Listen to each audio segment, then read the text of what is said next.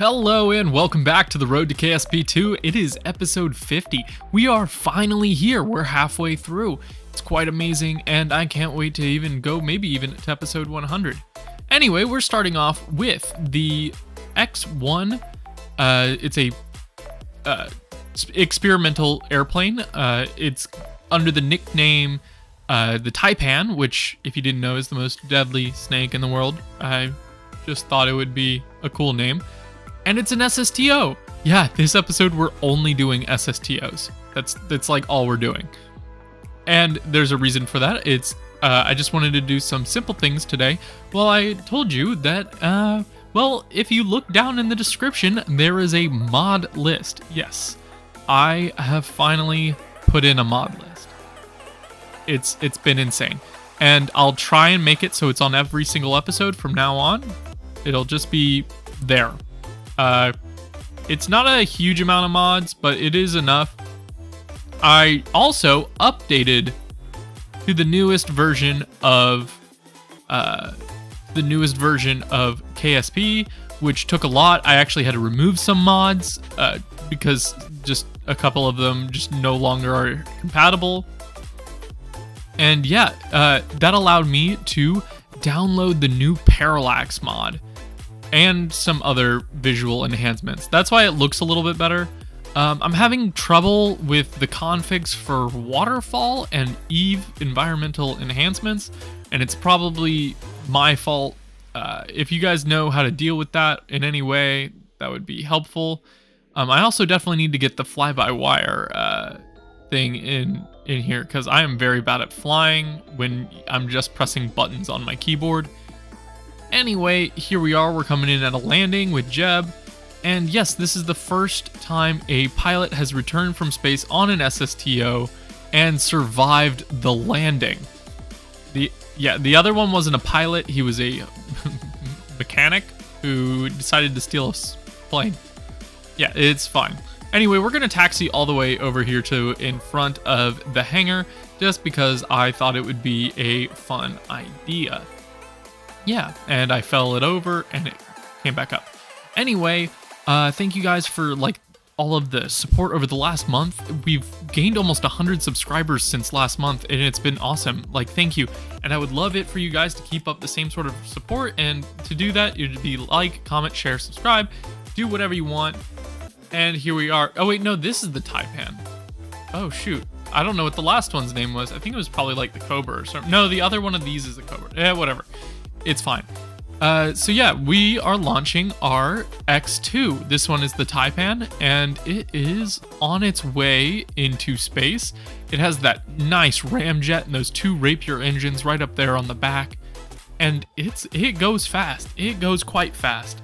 And the mission of today is to recreate the picture that is in the thumbnail. That picture has inspired me to do this. Uh, yeah, it I just thought it would be a cool thing to show off for this episode, while I also have some other announcements for you. Uh, I am going to release reels of our missions, uh, basically starting from the first mission all the way till now, uh, and you'll get to see just how much crazy random stuff that has happened. Anyway, here's the X2 Cobra, which is another X2 spaceplane uh, and it's designed exactly the same and it's going to fly. I don't know why I had to click out of there for that second, but I, I'll leave it in. And yeah, basically I keep it at about only a 5 to 10 per uh, 10 degree incline all the way into space until we get high enough in the atmosphere where I just need to really take advantage of the lifting effect by pulling up really hard and that that helps. I don't know how it helps. It seems to help to me. And I'm probably doing it wrong, and maybe it's even hurting the performance, but that then that just shows how strong these crafts are. Yeah. So, look at those massive delta wings. They are huge. Anyway, here we are, uh, about to do our first burn, which will circularize us around the planet. Yeah, this is quite amazing, isn't it? there we go. There's the circularization. And then we have to change our uh, overall height because if we don't, then it'll take us, uh, I believe it was like three months to get an encounter if we didn't do that, which is just insane. There's no reason why we would need to be up there for three months. That's insane. Yeah. All right. So, uh, yeah, so I'm going to be doing uh, Instagram Reels. Uh, I'm going to create an Instagram account for my YouTube, and I'm going to make Instagram Reels, and I am also going to be make. Uh, I'm also going to be posting shorts of all of the things. Uh, I know I just repeated this. This is just me repeating what I said earlier, but it's going to be of this and of my new series that is going to be starting up in a couple of days. Yes, it'll be starting this weekend, and it is going to be an RP1 RSS slash whatever the rest of the thing is. It's just going to be uh, real solar system, real progression, all of that, and it's going to be it's going to be fun. It's gonna it's gonna be pretty fun. Uh, I just need to know what starting country you would like me to start out as. And yes, we're only about a kilometer away from the other, uh, the other rocket, or the other space plane. Uh, yeah, it's it's going to be a pretty cool, cool mission. Look at how well the parallax and all of that makes the ground look. Wow, I am so glad I upgraded. Uh. Okay, so now we're starting our final approach to the, I believe, the Taipan. We're currently uh, piloting the Cobra. Valentina's piloting the uh, the Cobra with Bob Kerman in the passenger seat. There, I pulled out uh, docking alignment indicator. It's such a helpful mod, especially when you can't really like do all the quick turns and things like that that you could normally do in uh, in like a more lazy method of docking. I uh, just did a small little time warp there so we could get over much quicker. There's the uh, KSC down there on the ground. Uh, that's pretty cool. I, I didn't realize that when I was doing it. I was really, really preoccupied with the docking here, and look at them. They're right there. They're both really large, large space planes. Uh, I mean, space planes for what they can do. I believe they can hold, uh, I think it's six people each. Yeah, they can both hold six people. And I think, no, actually they can't. No, yeah, yeah, they can. They can both hold six people. Uh, no, no, no, they can't. Never mind. They can't hold six people. They can only hold two people. And then, and I believe I'm going to make a another SSTO in like the next episode that can uh, actually carry cargo into space. Uh, yeah, because we need to build a new space station. Uh, the old one, it was deleted when I deleted the what is the the mod with the antennas? Uh, real, not a real antenna, but the other one. Oh yeah, I was trying to get inside the engine. I thought it'd be funny. Uh, I just did like a quick little uh you know, circle around the whole ship, and then I got Jeb back inside, and yeah, it's pretty cool that we were able to dock these together.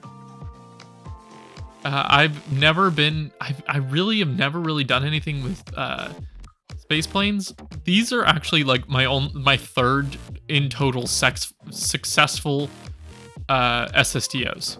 Nothing else has been ever successful for me. Uh, so this is actually pretty cool to me.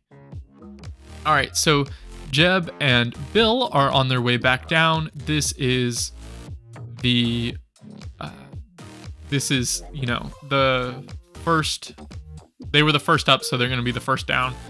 So th that both people, uh, both groups can get a pretty good time in space.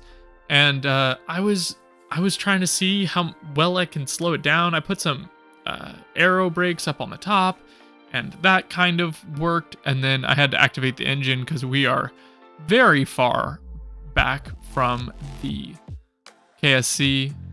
And this thing just breaks the sound barrier like nobody's business. Like we can get up above a thousand meters per second like it's nothing. I took a little time to look in the uh, cockpit there to see if you could see the runway, and yes, you could. It's kind of hard to see the runway with uh, with uh, parallax on. Like it, it's kind of hard. Like I, I couldn't see it, but it parallax and all of the trees and all this stuff like that. It just makes it worth it. And I can't wait to do some more exploring around the solar system. And here we are coming in pretty quickly, I might add. Uh, thank, thankfully, I was able to bring it down at, before the end of the runway, and we are going to taxi all the way back to the hangar. Uh, yeah, we're going to taxi all the way back to the hangar and just slowly bring ourselves in so we can get Jeb and Bill out for their photo op once they uh, once they get everything down. Uh, once they, well, I think once Bill and Bob get down. Yep, there they go. They're gonna walk out there. And look at this. What is this? It's Crew 5. Yes, it launched earlier today. This is Crew 5. Uh, this is real. This is uh, from uh, this is from literally several hours ago at the time of me doing this and uh, at the time of publishing this will be from the same day as the time of publishing this is crew 5 it's i just thought it was cool i can see rocket launches outside my back window well actually this is my back window this is my porch i can see them out on my porch like all the time it's not a porch it's a balcony whatever yeah here it is that's that's literally four people going up to space yeah. That's so cool. I love living in Orlando. It's it's awesome. I mean, I could see things from oh, uh, from my old town, but like not like this. It's better here. Anyway, uh, this is the X2 Cobra. Cobra. It's currently orbiting Kerbin with Valentina and uh, Bill? Bob? Yeah, Val Valentina and Bob.